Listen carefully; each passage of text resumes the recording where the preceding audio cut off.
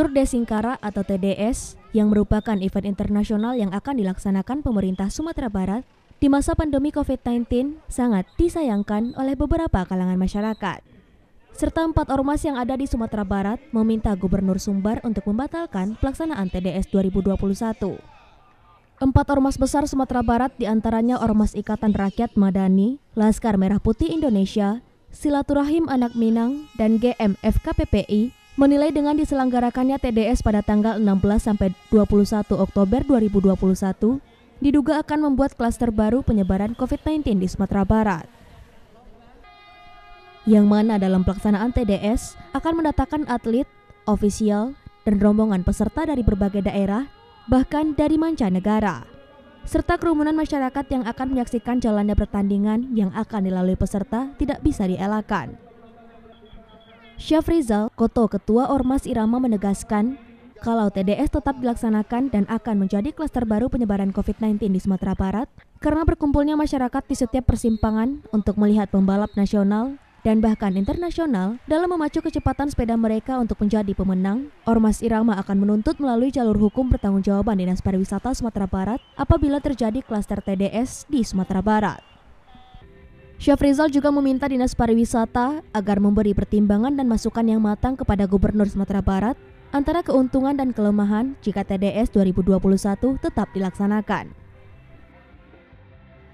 Uh, pada prinsipnya kami uh, menolak dilaksanakan uh, TDS uh, karena pada posisi hari ini kita masih berada di level 4 pandemi gitu.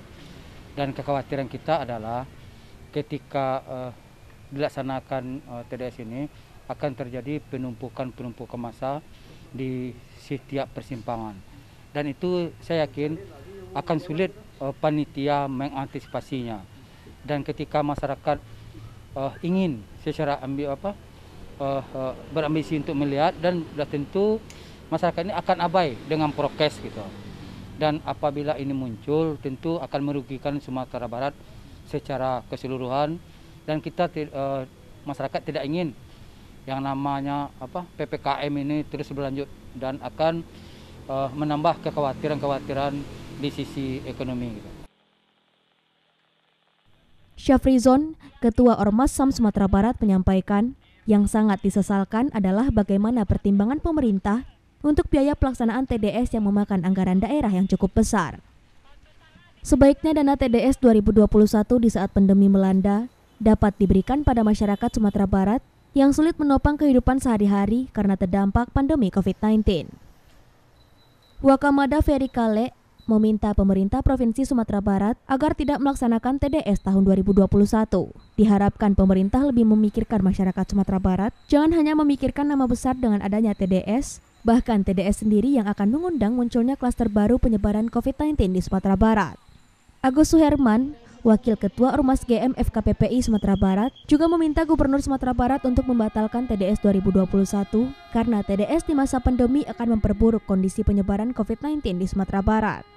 Pihak Ormas juga menilai selama pelaksanaan TDS belum ada dampak yang menguntungkan untuk masyarakat. Kegiatan TDS hanya menyulitkan masyarakat dengan adanya penutupan jalan yang akan dilalui peserta TDS. Dari Padang, Sumatera Barat, Aryo Hanas iNews melaporkan.